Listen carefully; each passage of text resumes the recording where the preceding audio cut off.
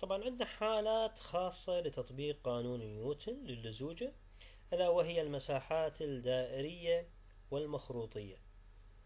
قضية مهمة جدا لازم ننتبه لها ونميزها من تجينا بالمسائل هي المساحات الدائرية والمخروطية. نقدر نكتب هنا ملاحظة أنه القوة اللي يحسبها قانون نيوتن للزوجة على المساحات الدائرية والمخروطية تحسب بالتكامل. نعيد القوة اللي نحسبها من خلال قانون نيوتن للزوجة وهي قوة الإعاقة اللي يولدها المائع نتيجة للزوجته على الأجسام المتحركة الملاصقة له لحالتي الدوائر والأجسام أو السطوح المخروطية تحسب القوة بالتكامل. طبعا توضيح هذا نقدر نوضحه بشكل بسيط جدا من خلال هذا المخطط. من حكينا عن المثال السابق يا شباب فيما يخص الأسطوانة. إن كانت الأسطوانة داخل وعاء أسطواني قلنا هناك مساحتين راح تعاني من احتكاك وبالتالي تتولد عليها قوة نتيجة للزوجة. وين دني المساحتين؟ المساحة السطحية الخارجية إلها ومساحة قاعدتها. المساحة السطحية الخارجية ما قلنا أنه تنحل بالتكامل. لكن مساحة القاعدة من تجي تحسب عليها القوة مثل ما هسه أشار لنا هذا هذا الشيء الخاص بالحالات الخاصة أنه يجب أن تحسب بالتكامل ليش؟ يقال أنه في مساحة سطحية لأسطوانة مثل هاي أينما أخذت شريحة راح تكون الشرائح متساوية بالمساحة وبالشكل وبكل شيء وبالتالي لهكذا مساحات ما يحتاج نشتغل بالتكامل. بينما المساحات الدائرية اللي من بينها قاعدة هاي الأسطوانة لو تيجي تاخذ element بالدائرة اللي هو شريط هل الشريط هذا هو نفسه وين ما أخذته؟ قطعا لا. شوف هذا الشريط اللي هو الأقرب للمركز يختلف كليا عن هذا الشريط الأبعد وهكذا عن باقي الأشرطة. وبالتالي إذا من تجي تاخذ element في دائرة هاي ال element عفوا تختلف حسب الموقع. هو شنو اللي يختلف بها تحديدا؟ مساحتها. فإذا اختلفت المساحة اختلفت القوة الناتجة عن اللزوجة. حسب قانون نيوتن للزوجة لأنه القوة إلها علاقة بالمساحة. معنى هذا شنو؟ معنى هذا أنه القوة اللي راح تنشأ على مساحة دائرية هي تختلف من مكان لآخر بينما القوة اللي راح تنشأ على سطح آه هذا المحيط الخارجي المساحة السطحية الخارجية للأسطوانة لا. القوة اللي راح تصير على هذا الشريط هي نفسها على شريط أسفل منه ونفسها على شريط أعلى منه لأنه الأشرطة متساوية في المساحات. فبالتالي قالوا هيجي مساحات ما يحتاج لها تكامل لكن هيجي مساحات دائرية كانت أو مخروطية. أيضا المخروط فعلا لو تأخذ به شريحة الشريحة تختلف من مكان لآخر من موقع لآخر فهنا يحتاج أنه نحسب القوة بالتكامل. شلون نحسبها بالتكامل؟ كأنه دا نحسب القوة على شريط ونكاملها على باقي مساحة الدائرة حتى نطلع القوة الكلية. الاشتقاق موجود هنا يا شباب. مساحة شريط بالدائرة شلون نطلعها إحنا يا اخوان؟ يعني إذا كان هذا مركز الدائرة فالشريط راح نفرضه يبعد r small عن المركز وسمك الشريط dr. دائرة نصف قطرها R capital إذا أخذنا بها element اللي هو راح تكون عبارة عن شريط راح نفترض إنه الشريط هذا يبعد عن المركز r small وسمكه dr إيش قد مساحة الشريط الآن يا شباب؟ هذا الشريط مجرد فتحناه ووضعنا لكم إياه هنا. الشريط من فتحة يصير عبارة عن مستطيل. طوله هو محيط الشريط اللي هو القطر في النسبة الثابتة. 2 pi r وعرضه هو سمك الشريط اللي هو dr اذا مساحة هذا الشريط إيش قد يا شباب؟ 2 pi r dr اللي سميناها شنو يا أخوان؟ d area d area. اذا ال d area بالنسبة لهاي المساحة الدائرية هي 2 pi r dr. هنا اذا إيش راح نطلع إحنا؟ راح نطلع ال d force يعني القوة على ال element القوة على الشريحة. حسب قانون نيوتن القوة شو تساوي؟ الميو في الفي على الاتش في الدي آريا. ما ننسى هذا قانون نيوتن. بدل ما أقول area قلت d area.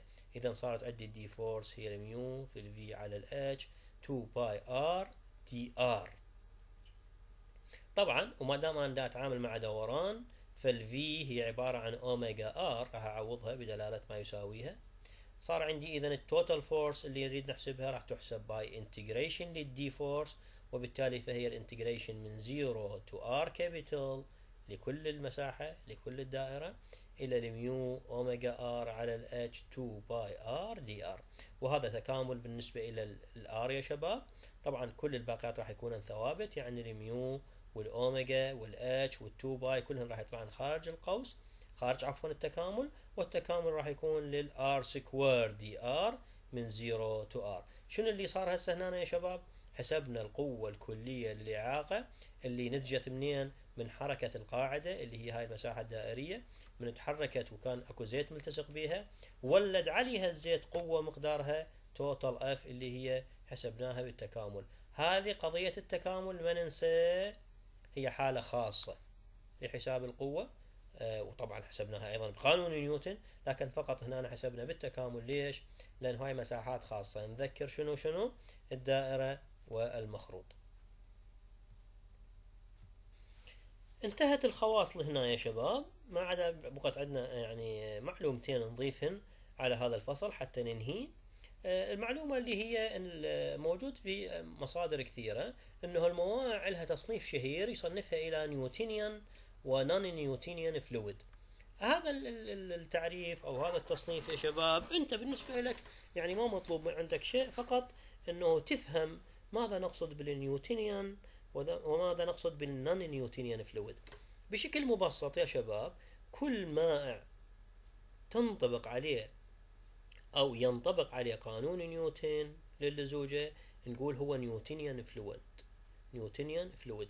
أما بعض الموائع اللي ما ينطبق عليها قانون نيوتن يعني ما نقدر نستخدمها لحساب القوة نسميها نان نيوتنيان شنو هي المواعي اللي ما ينطبق عليها قانون نيوتن وبالتالي نسميها نان نيوتنيان وبالتالي اذا يراد لها قوانين أخرى لحساب رد فعلها. بعض الموانع اللي سلوكها غير ثابت يا شباب. أضرب لك مثل بسيط. مادة القير هي مائع نعم مائع لكن هي تحط ضمن خانة النون نيوتنيان ليش؟ لأنه القير بين لحظة وأخرى يتحول من سائل إلى صلب. تحول حاد جدا. يعني فعلا القير فقط أن يبرد بشكل بسيط يتحول إلى صلب. وبالتالي إذا سلوكه غير ثابت. لزوجته غير ثابتة. تتغير بشكل يعني حاد وكبير. فهكذا موانع ومنها بعض أنواع البلاستيك أيضا هكذا موائع تسمى موائع غير نيوتنية أو non-Newtonian fluid يعني ما أقدر أحسب رد فعلها بالاعتماد على قانون نيوتن اللي مر. طبعا إحنا في هاي المرحلة ما عندنا هكذا لا ما يعني ما راح يصير عندنا تعامل مع هكذا موائع. تعاملنا كله راح يكون مع Newtonian fluid لكن بالنسبة لنا كمهندس لازم نعرف شنو ال Newtonian وشنو ال non-Newtonian إذا أنا بالنسبة لي لحدود هاي المرحلة علي أن أعرف إذا ذكر أو وردت هاي المعلومة أنه هذا المائع نون نيوتنيان راح أقول يابا ترى قوانيني في هذه المرحلة تفشل ما أقدر أحسب القوة مالته بقانون نيوتن للزوجة. هذا إلى قوانيننا الخاصة اللي إحنا الآن ما مطالبين بها أما الخاصية الأخيرة اللي راح ننهي بها هذا الفصل هي اللي آه، يمكن يعني نبهتكم عليها قبل شوية. هي ال kinematic viscosity. اللزوجة لها نوعين لزوجة ديناميكية أو اللزوجة تسمى الحركية واللزوجة الكينماتيكية أو ما تسمى باللزوجة الداخلية. هذه ما بها لا اشتقاق ولا في شيء جديد مجرد أنه رمزها هو نيو هاي بالنون يا شباب نيو هذا الرمز اللاتيني وهي تساوي الميو اللي شفناها اللزوجة الديناميكية على الكثافة. فهنا إذا هذا إيش راح يفرض علينا؟ يفرض علينا شيء واحد فقط. بالسؤال لازم ننتبه. اللي داخلة بقانون نيوتن هي الميو فخاف ينطينا بالسؤال النيو لازم ننتبه. نضربها بالكثافة يلا نستخدمها. إذا النيو هي اللزوجة الكينماتيكية أو ما تسمى باللزوجة الكامنة. والميو هي اللزوجة الديناميكية واللي هي دخلت في قانون نيوتن للزوجة. إذا فيما يخص ال kinematic viscosity علينا أن نعرف القانون فقط وننتبه أنه اللي دخلت في قانون نيوتن هي الميو وأخيرا يعني آه، يجب أن آه، نعرف علاقة آه، درجة الحرارة والضغط باللزوجة. هذه معلومة راح يعني تحكون عنها بالتفصيل بالمختبر إن شاء الله. فيما يخص الغازات والسوائل gas and liquid إذا زاد الضغط زادت اللزوجة طبعا but small يعني زيادة بسيطة. إذا علاقة الضغط باللزوجة علاقة طردية كل ما زاد الضغط زادت اللزوجة وإن كان آه، الزيادة بسيطة. أما فيما يخص التمبرتشر فالعلاقة غير ثابتة. يعني فيما يخص الضغط العلاقة ثابتة للسوائل والغازات. فيما يخص التمبرتشر يعني درجة الحرارة يقال أن الغاز بزيادة درجة حرارته تزود لزوجته. والعكس بالعكس فيما يخص السوائل. السوائل إذا زادت درجة حرارتها تقل لزوجتها.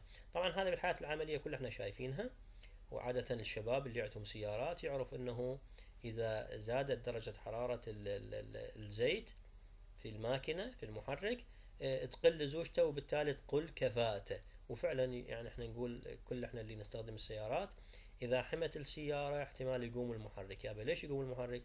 لأنه إذا حمت السيارة يعني زادت درجة حرارتها زادت درجة حرارة الزيت قلت لزوجته قلت كفاءته صار الاحتكاك شنو؟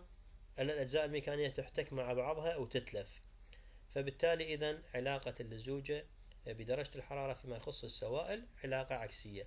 زين يأتي السؤال هنا ليش إذا زادت درجة الحراره بالعكس هنا لزوجة الغاز تزيد الحقيقة التبرير هو إذا زادت درجة الحرارة تزيد الطاقة الحركية لجزيئات الغاز وتتصادم مع بعضها فتزداد لزوجتها. يعني عكس ما يحصل مع السائل تماما.